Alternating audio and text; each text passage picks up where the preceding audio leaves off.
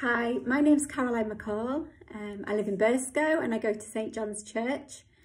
I'm married to Finn. Um, he's a pharmacist and works in the Manchester area. And I have two children, Shannon, who's 23, who works at Lancaster University, and Connor, who's almost 21, and he's studying engineering at Lancaster University as well.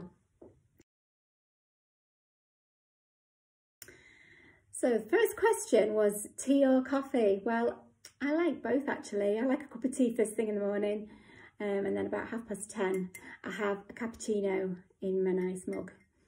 Um, so yeah, I like them both. So favourite biscuit? Well, I like most biscuits, um, but I think Orange Club biscuits probably my favourite.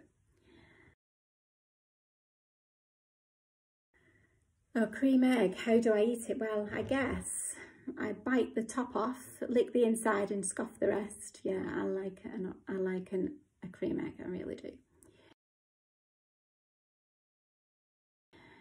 So what's the best thing about Lent in lockdown? Well, I suppose this year, i am normally what I do, I normally give something up, so chocolate or bread or something like that. But this year I've decided to be a bit more positive and I'm going to take something up. So I've decided that I'm going to do some Bible journaling every day in Lent. So um, I've got a Bible journal um, and what it does, it has uh, margins in the side of all the text, which allows you to, to write comments or draw pictures or do images and things. So um, there's one that I did um, a few months back.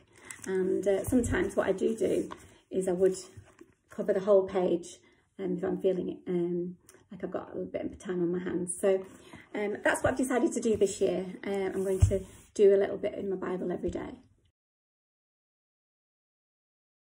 What am I praying for um, over lockdown and Lent? Well, I think we I think we're all praying for those who work on the front line. And um, we pray that that they'll get the strength to keep going. It's, it's, it's a year now. Uh, they must be absolutely exhausted and we just pray for them um, in their everyday lives and, uh, and the struggles that they're going through. Pray for those who are working in the vaccination centres.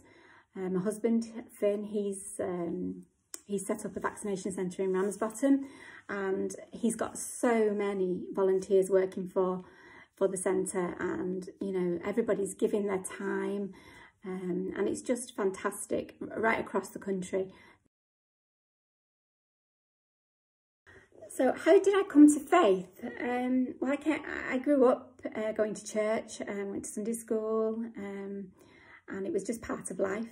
Uh, I, I then went on to uh, university and I suppose I didn't go to church particularly during that time. Uh, but I still had a faith, still believed. Um, and then I met Finn, he was a Catholic and we went to the Catholic church and I got married in a Catholic church. Um, but then when we moved to Burscough, um, St John's um, had a really good uh, Sunday school and um, sort of um, the Little Lambs um, was a really good opportunity to take my children to. And we just became involved in the church life from then. And I think from that point, I then had a better understanding of what being a Christian was um, and what having a faith meant and, uh, and, and being able to worship with friends in the church and, and develop a strength and bonds with people um, was great. Um, what are my hopes for Burscough? Um, well, I just pray that lockdown has taught us something. It's taught us how to be a community, how to help each other. And I just hope that continues. Um, and I think that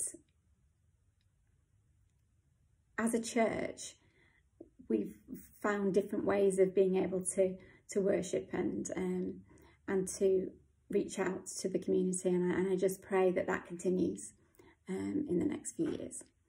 Thank you.